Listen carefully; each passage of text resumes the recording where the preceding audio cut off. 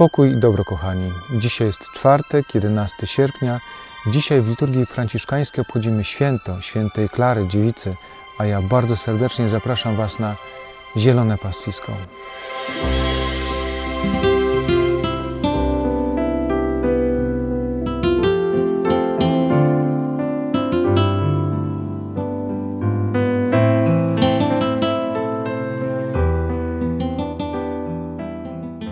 W dzisiejszej Ewangelii, kochani, Pan Jezus przekonuje nas, abyśmy trwali w Nim i podobnie jak latorośl nie może przynosić owocu sama z siebie, o ile nie trwa w innym krzewie, tak samo i my, jeżeli nie będziemy trwali w Panu Jezusie, to nic bez Niego nie możemy uczynić.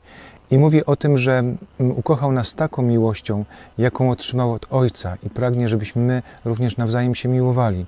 Co to znaczy trwać w Panu Jezusie? Trwać w Nim to znaczy spełniać Jego przykazania. Niewątpliwie, kochani, tą osobą, która była zakorzeniona w Panu Jezusie i przynosiła obfite owoce, była patronka dzisiejszego dnia, święta Klara. Otóż urodziła się ona w Asyżu w 1193 roku jako trzecia córka swoich rodziców, którzy należeli do słynnego rycerskiego rodu. Jej mama, kiedy bała się o powodzenie tej ciąży, czy donosi dziecko, podczas modlitwy otrzymała takie zapewnienie. Nie bój się, gdyż to dziecko zabłyśnie swym życiem jaśniej niż słońce. Dlatego też nadała jej imię Klara z języka łacińskiego, czyli jasna, czysta, sławna. Kiedy Klara miała 12 lat, to w Asyżu rozpoczął swoją działalność Jan Bernardone, późniejszy święty Franciszek. Klara często rozmawiała z nim, była zafascynowana jego duchowością. Zastanawiała się, jak on to zrobił, że zostawił bogactwo swojego ojca, swojej rodziny i poszedł za Chrystusa i żyje w ubóstwie i pokorze. Bardzo imponowała jej postawa świętego Franciszka i często z nim rozmawiała. Zapragnęła być siostrą braci mniejszych, czyli Franciszkanów. Zwróciła się do Franciszka, żeby spytał biskupa Asyżu Gwidona, czy wyrazi na to zgodę. Otóż w niedzielę palmową, kiedy rodzina Klary udała się swoim zwyczajem do kościoła, aby poświęcić palmy, biskup Gwido przyszedł z palmą i wręczył palmę Klarze i był to wcześniej umówiony znak, że wyraża zgodę na to, żeby ona została siostrą, żeby była siostrą braci mniejszych. Klara tej samej nocy uciekła z domu, ponieważ wiedziała, że i tak, i tak nie uzyska żadnego pozwolenia od swojej rodziny. Oni dwukrotnie próbowali ją wydać za mąż bezskutecznie. I kiedy Klara przyszła do Franciszka, on przygotował dla niej taki mały klasztorek przy kościółku San Damiano, świętego Damiana w Asyżu. To jest ten kościół, w którym jest ten słynny krzyż świętego Franciszka, do którego, z którego przemówił Pan Jezus właśnie do Franciszku, odbuduj mój kościół. I kochani, do Klary zaczęły dochodzić inne siostry, między innymi jej rodzona siostra, późniejsza błogosławiona Agnieszka. Często dziewczyny z bardzo wysokich sfer, bardzo zamożne, zostawiały swój majątek i szły, aby usłużyć Panu Jezusowi. Założyły, właściwie święty Franciszek założył zakon, który nazwano zakon ubogich panien. Miały być takim wsparciem dla braci, którzy prowadzili działalność ewangelizacyjną. Chodzili po dwóch po całym świecie i głosili Ewangelię.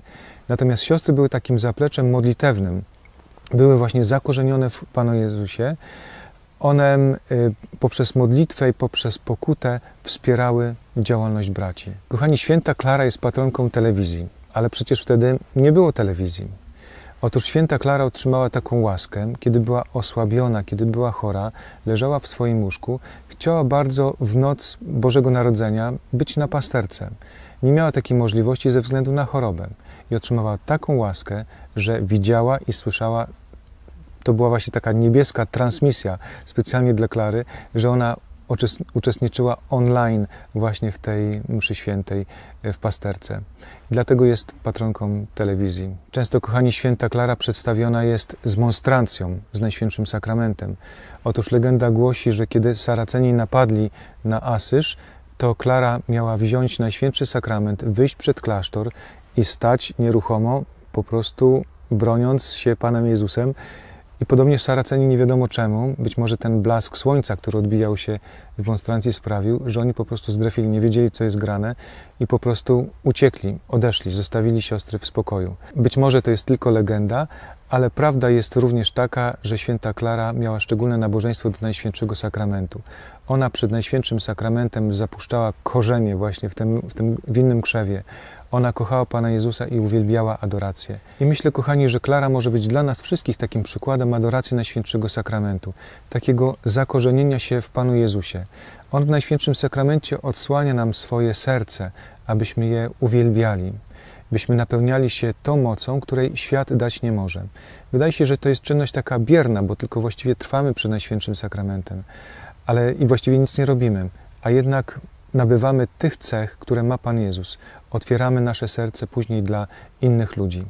Kochani, a więc święty Franciszek założył trzy zakony. Pierwszy zakon braci mniejszych, Franciszkanów. Po drugie zakon ubogich pań, czyli sióstr Klarysek dzisiaj. I po trzecie zakon świeckich, tych, którzy żyjąc w rodzinie albo też samotnie, starają się żyć duchowością świętego Franciszka. Na zakończenie, kochani, dzisiaj w Dzień Świętej Klary zakorzeniajmy się w Panu Jezusie i przyjmijcie teraz Boże błogosławieństwo.